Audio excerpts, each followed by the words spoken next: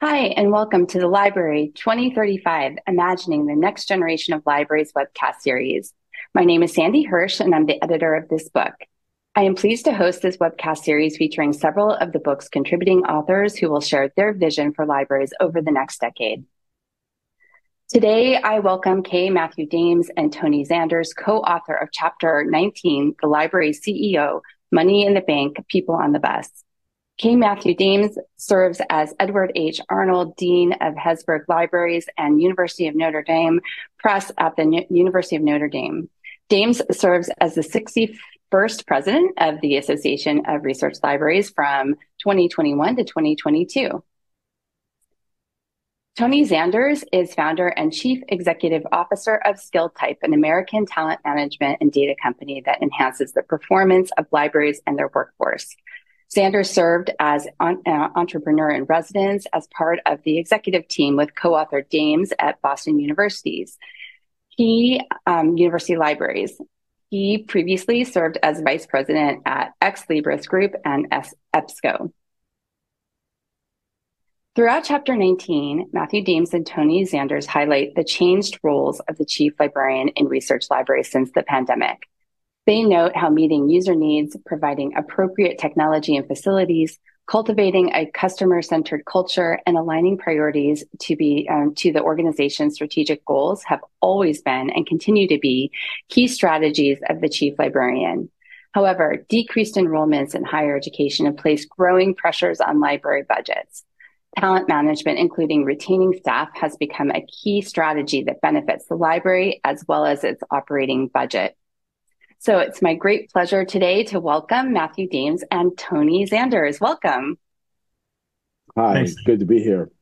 Good to be here. So happy to have this conversation with you. I'd like to get started by asking you to briefly describe what your vision is for the future of libraries in 2035. Tony, you want to start that off? Sure. I thought that it would be a long time away, but uh, time flies. It's already 2024, and um, 10 years from now, uh, roughly, I think we're starting to see the glimpse of the role uh, artificial intelligence is playing on our work.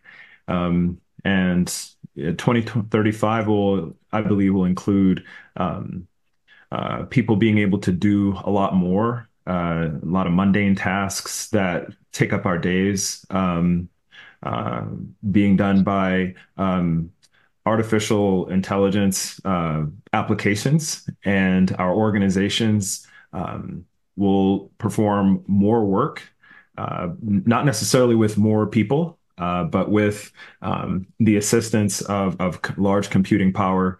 Um, and I think the libraries will be able to um, meet the needs of a, of a, of a much broader community uh, as a result. Um, and so I have a, an optimistic view around the role uh, libraries will be able to play in the next 10 years uh, because of the advances we're seeing in, in technology. Thank you, Tony.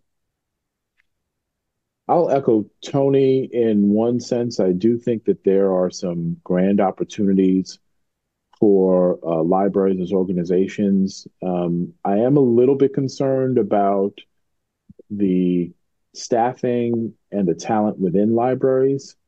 Um, picking up exactly where he left off, the the whole artificial intelligence piece um, is extraordinarily powerful in ways that I didn't quite expect. I mean, just this week, uh, one of the things that Tony and I have been working on is uh, uh, sort of a, a, project, and we're going back and forth with drafts of of notes and ideas.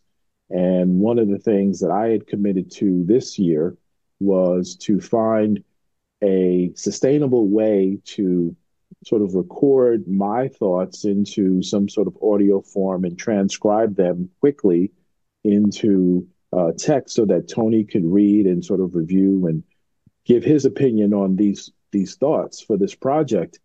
And literally, the turnaround time on two thousand word uh, pieces.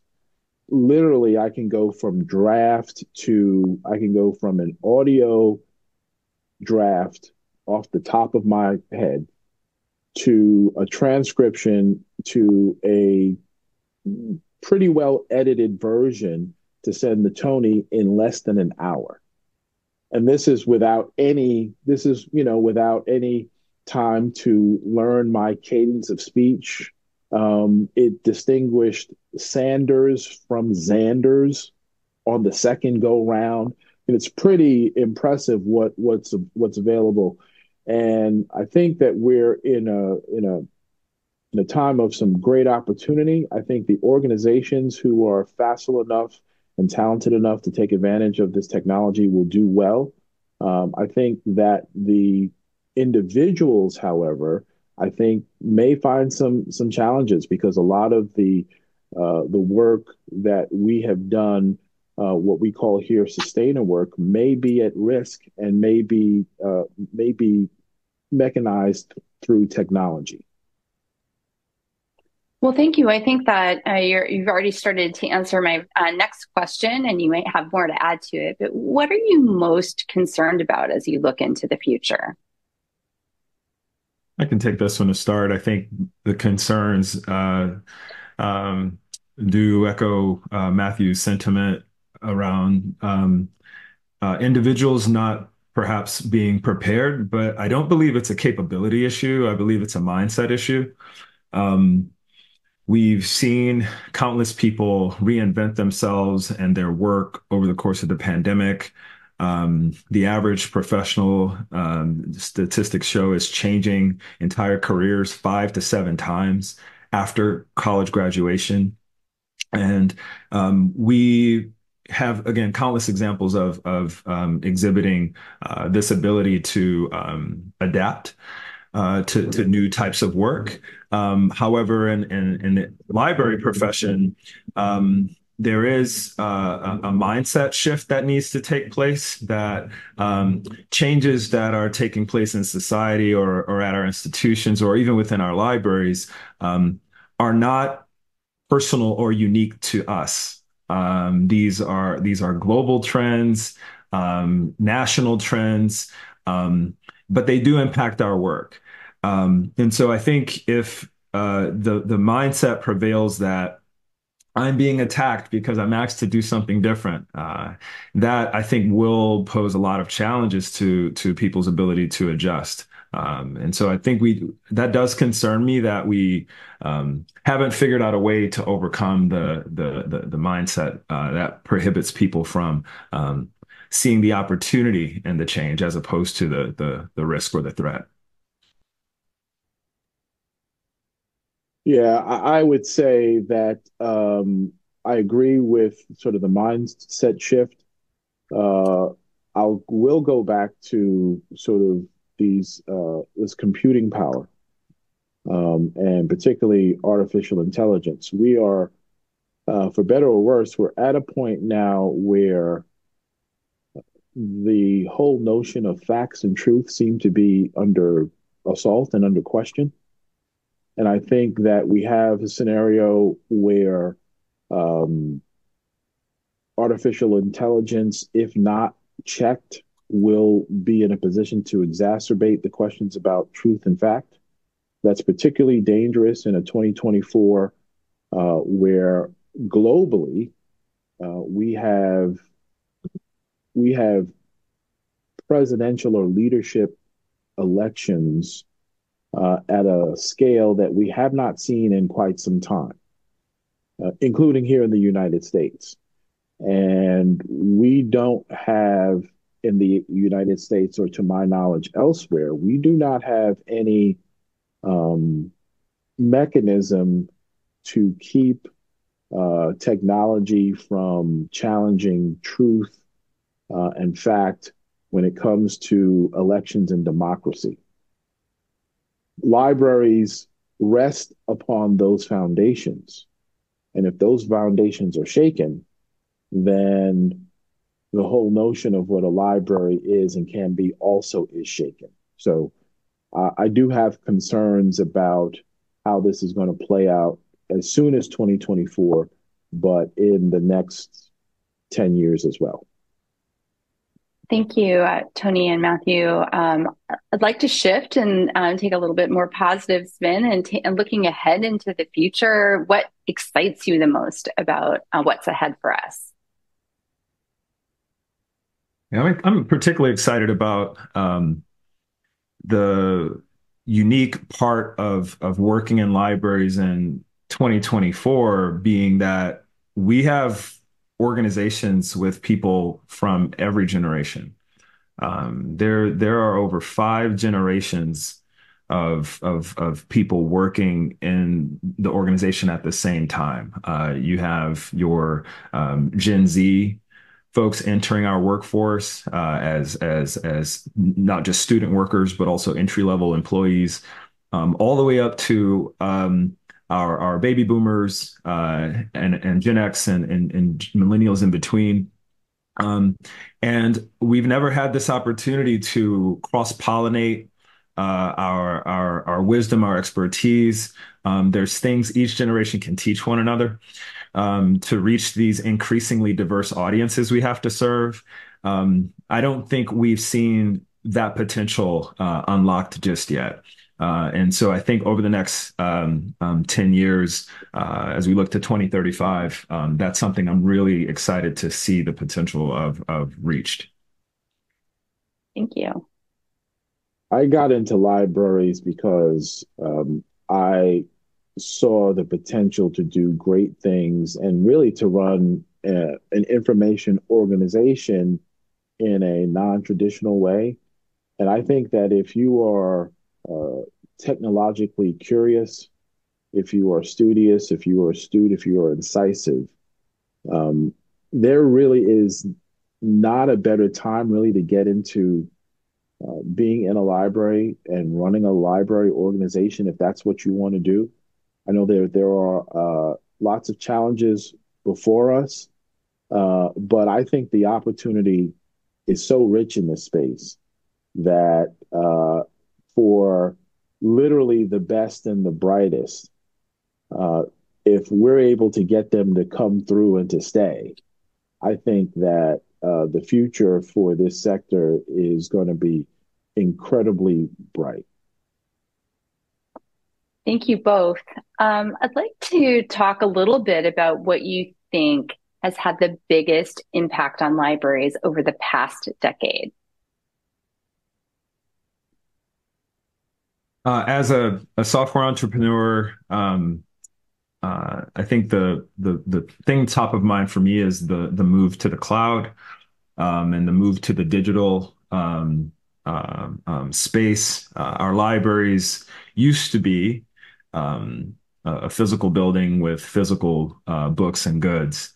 In the early 21st century, uh, we became that physical building uh, with a website, uh, with a, small digital footprint. Um, today, however, uh, and over the past decade, uh, many of our libraries, if you look at the statistics, um, have become primarily a, digital operation a, digital footprint with a, decreasing um, physical footprint. And, that shift uh, to be primarily digital uh, and to depl- um, have to train our, our, our workforce on um, managing um, digital properties, interacting with, with patrons in a digital way. I think that's the biggest shift that that's taken place. It used to be something that was for, a nice to have for well-to-do organizations.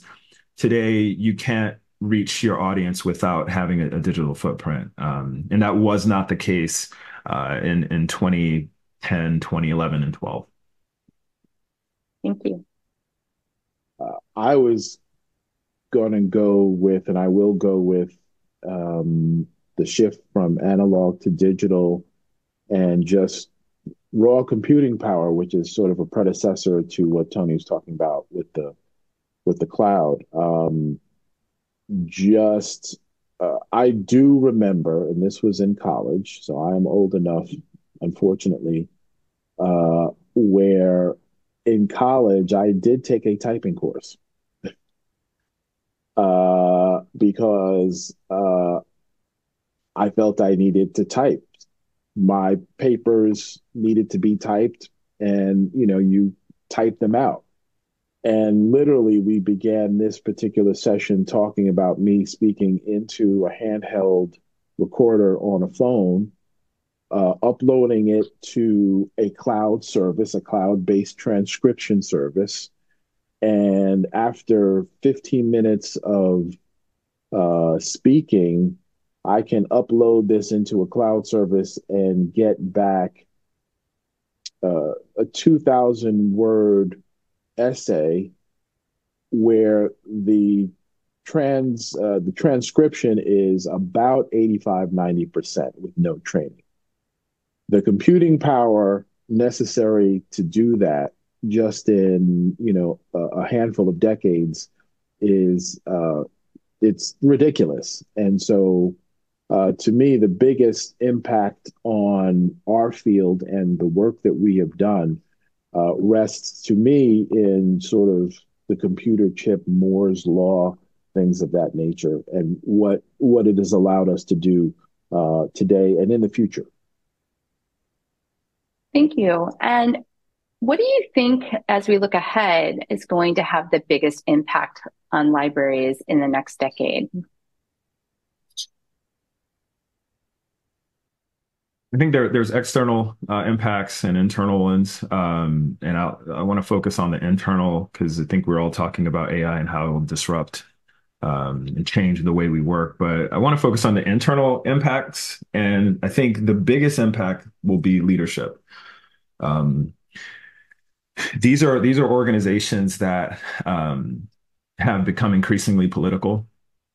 Um, the, the, the funding for them, uh, the the advocacy for them, um, the role they play in the research enterprise, if you're an academic library, or the role they play in the um, kind of um, community outcomes if you're a municipal out, out, uh, uh, uh, library, a public library. But the biggest impact will be the leadership and um, preparing leaders who are um, not just experts in managing information, uh, but but managing uh, relationships, managing people, um, being able to um, ensure that your organization has a seat at the table, um, understanding that your role is again uh, one where you must not just be technologically savvy, but you have to be politically savvy. Um, and uh, without leadership that sees that their role is that of a, of a CEO, essentially, um,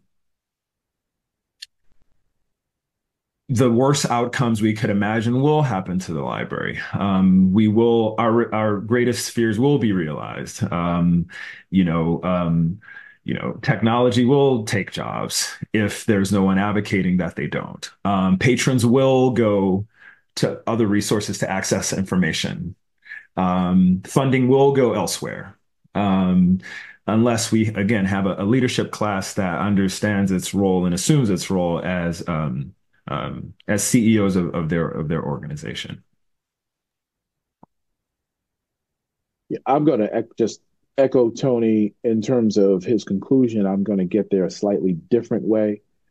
Uh, one of the things we talk about here in our executive team meetings is we can't reasonably expect and should not expect that uh, the expectations of our customer base and those expectations being shaped by Amazon, Google, Meta, Insta, TikTok, insert Microsoft, insert large influential tech company in the in the blank space we shouldn't expect that our customers' expectations that are shaped by those companies are expectations that they don't bring with them into the library space, whether that space is digital or terrestrial. Right? We are actually on the outside of the technology space. We have a part in that. We're part of that sector albeit on the I think on the far ends of that sector, but we are in that sector.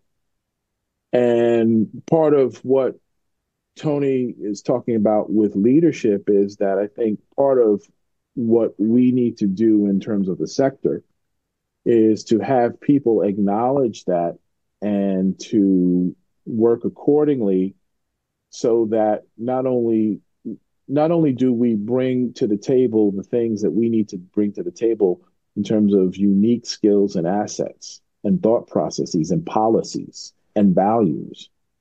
But also, we need to bring those things in a way, and we need to sell those skills and those opportunities in a way so that we actually do have a seat at the table when we need to have a seat at the table. And quite frankly, we need to have a seat at the table more often than we are actually at the table. Thank you. Um, I think those are all very important for us to be uh, having that seat at that table. So I think uh, we need to help uh, advocate for our own futures. So I think that you've raised really important points. Um, I wondered, it's been a few months since you've submitted your chapter um, to for the manuscript, and I was wondering if your thinking has changed at all since you've written that chapter. Tony. I don't, I don't think mine has. Um, these have been a set of ideas uh, that we've been ruminating on uh, for the better part of um, six years or so. Mm-hmm. Um, uh, they predate uh, the pandemic. They predate uh, the commercialization of uh, of AI, um, and I think that they're a set of evergreen uh, first principles um, that um, libraries um, need to conceive themselves as organizations, uh, not simply collections. And as a result, um, yeah, I don't think much has changed. Um, I think the late we will always have a trend du jour that dominates the headlines. Right now, it's AI. Uh, a couple years ago, it was DEI. A few years before that, uh, you know, you can insert again um, whatever the the news headline is, but the the the, the key remains that the libraries mm-hmm. uh, are organizations that need to be managed accordingly. Yeah, I would uh I would I would second that. I mean, one of the things that Tony I Tony and I have been talking about uh recently is, you know, we need to let the main thing be the main thing. And part of the main thing for libraries is look, these are these are organizations uh, where people need to be managed budgets need to be managed, politics need to be managed. Uh, there's a whole. It's part of the reason I got into this space was because I again I saw the opportunity to manage a full fledged 360 degree information organization. Um, and I think with the challenges that we've seen, particularly in the last, uh, say, 15 months and going forward, I think we're, you know, we're, we're seeing that and we're seeing the need for that. And it's just sort of justifying what we have said in the chapter. Great. Thank you. Well, I think this, I'd love to hear your thoughts, and I know you have some advice for what you think information, uh, any advice for information professionals as they look forward to the future in the next 10 years. What would you say to them? Um, I think regardless of where you are in the information profession, you, you've just begun your journey. Uh, you're on your um, you know 20th year of service, uh, or you're aspiring uh, to jo- become a librarian or a, a library worker. Um, I think my main advice is um, the world is your oyster.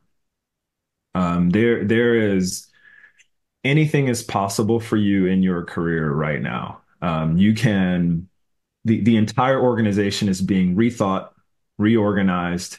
Uh, the relationship the library has to its partner departments or their their their partner organization, all of it's being rethought, um, and there is a true talent shortage of of people to serve in the information profession. Uh, what that means is that you're you're you are needed. Uh, um, there are the demand for information professionals far exceeds the supply. And as a result, um, whatever you put your mind to, uh, you can get there in a short number of years. Um, and that's, I think, my advice is just to understand that you you just set a goal, um, and um, there are ample opportunities for for skill development, for um, applying those skills. Um, What's needed though are are willing participants to help the library realize its potential. And if you're willing to, if you want to put in the work, um, you can. If you're not technical today, you can become technical. Uh, if you're technical today, but you want to be more more people facing, those are skills you can learn. Um, what's and so I would just be encouraged um, that there's there's more work to be done than than people today to to do it. Um, and so just have that mindset and you can make an impact for your personal career along with the communities you serve. Yeah, the the opportunities. Um, we Tony and I talk a lot about what we think is uh, is hampering libraries or what's wrong with libraries or the challenges that libraries have, and I think you know there is uh, there's a place for that conversation. He and I have had that conversation. We'll continue to have this conversation, uh, both you know through this chapter and through other means. But the the opportunities are just so ridiculously rich. it's just um, they really are. I mean, with with all the all the challenges, and there are many challenges but with all the challenges, the the opportunities uh, to not only just do your thing, but do your thing in different ways in five, six, seven different iterations.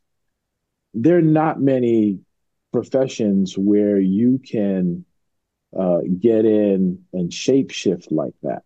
There really aren't. And so I just think that the opportunities for you know, really savvy, talented people are just incredibly rich. Well, I'm really excited to hear you say how um, say those things. I've always felt that about our field, and I feel that the opportunities are even more rich as you've described. So, is there anything that information professionals can do that can better prepare them for for this desired future? Um, you know, learn something new each day. Um, have an open mind. Um, when you attend meetings, you're invited to uh, pay attention, take notes, be engaged. Um, you never know when that that information, that tidbit, that um, idea will will come into play for you. It could be years later, um, but working in libraries, uh, again, whether you're a public library and you're now being tasked with new duties from your your mayor's office, from the the from you know other departments across the city. Um, you you play an instrumental role in making sure your community um, reaches its its, its potential. Um, and so, same thing for academic libraries. Um, student outcomes is the name of the game, and you're in a prime position working in that library to help the university uh, reach its its potential. And so, um, you know, that's the biggest thing is is just every day you show up to work, it's it, it is a privilege. Um, and there are people around the world who wish they had an opportunity um, to to to work with information, help people perform research, uh, help people have their light bulb moments for their personal careers. Um, and in the public libraries, there's so many ways to make an impact. Um, and people really need our help navigating this complex information landscape. Um, it doesn't fall on me that we're in 2024, it's an election year. There's going to be a lot of rigorous debate and conversations, people trying to figure out where they fall on certain issues, uh, how to navigate the news landscape and libraries. This is our time to shine. This is our year. Uh, really, every four years we have one to really play a prominent role uh, in preparing an informed citizenry. So um, just just get engaged. Um, you know, obviously there are always things to to improve and things to complain about, um, but you're not alone. Um, the library is not uniquely dysfunctional.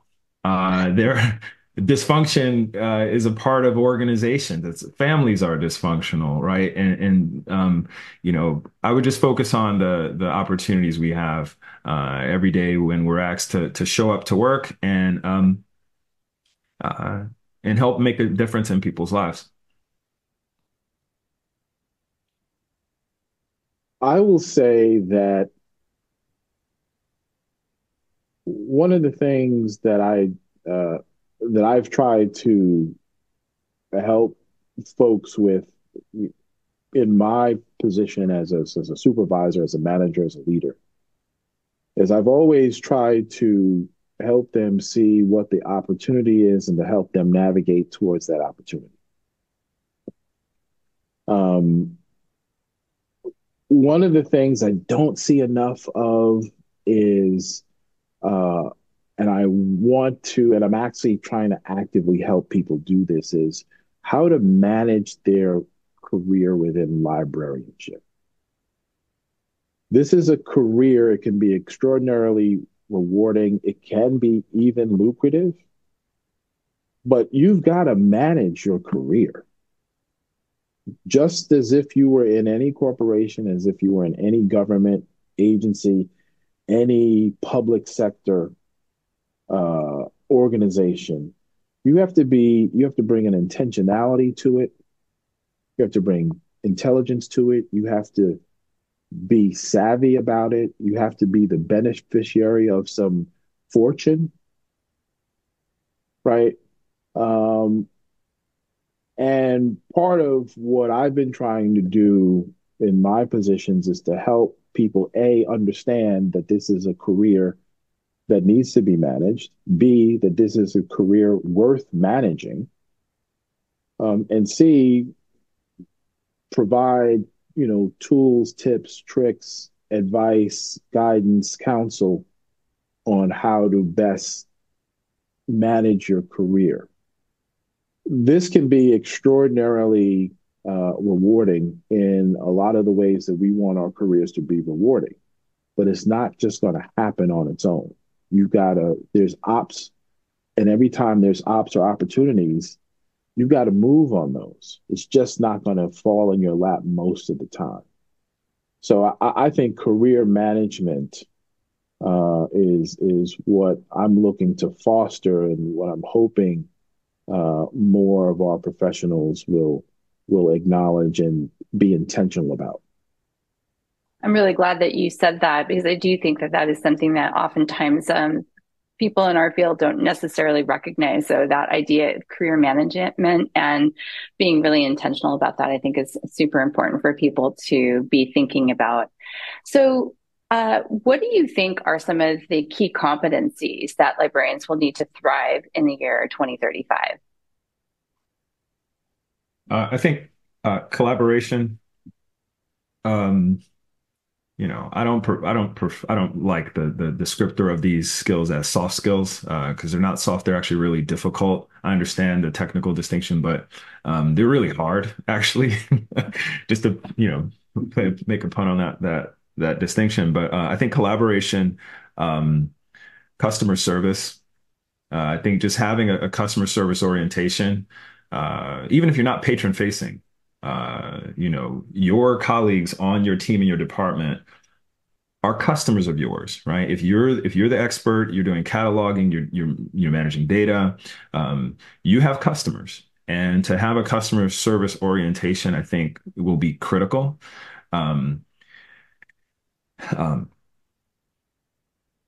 I think it's the it's the the unique things that we're able to do as people that AI can't do.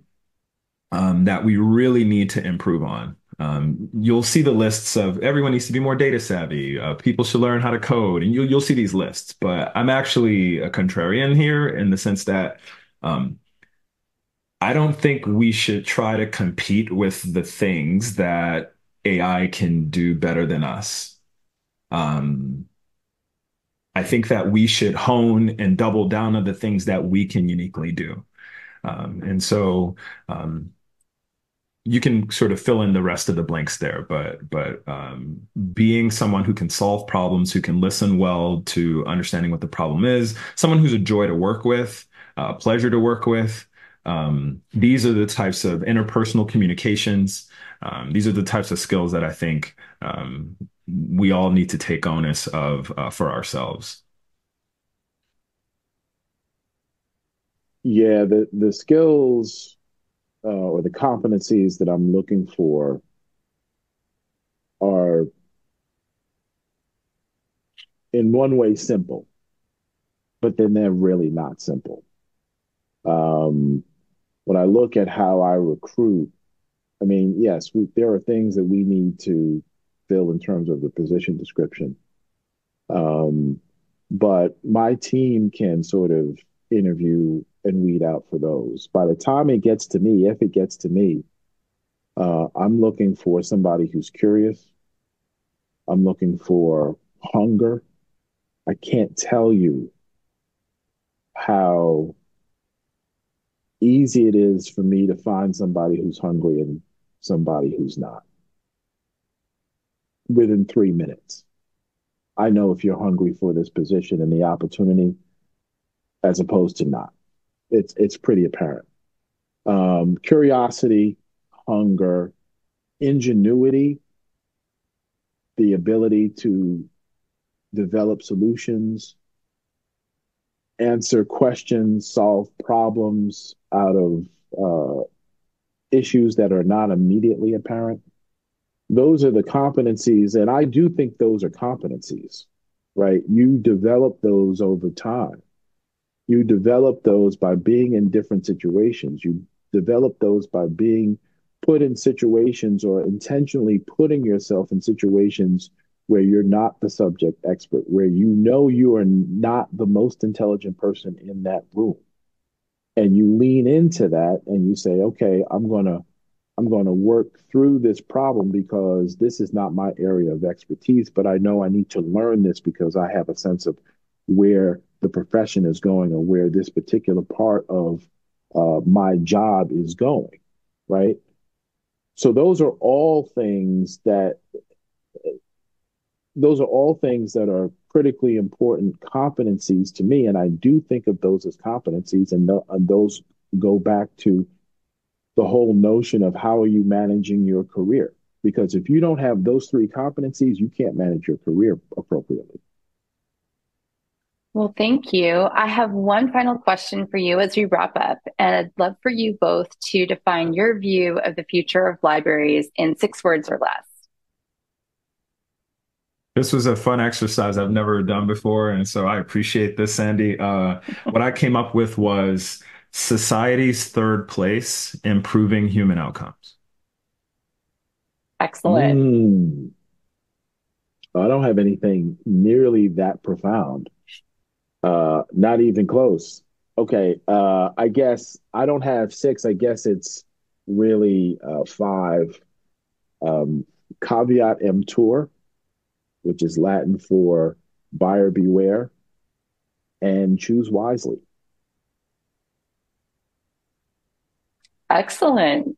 Great. Well, I know that was a challenging uh, uh, way to conclude, uh, but I, I think you both did great. And those are excellent ways to summarize the future of libraries. So I'd like to uh, thank K. Matthew Dames and Tony Zanders for joining me today. And I also want to thank you again for your contribution to Library 2035, imagining the next generation of libraries. It has been a true pleasure to talk with both of you today about your vision of, for the future of libraries. So thank you so much. Thank you as well. Glad to do it. Thanks so much. Take care. And I'd like to thank all of you for attending this webcast with K. Matthew Dames and Tony Zanders, co-authors of Chapter 19, The Library CEO, Money in the Bank, People on the Bus. To view additional author webcasts from this Library 2035 webcast series, please visit the link or use the QR code on your screen. And thank you again.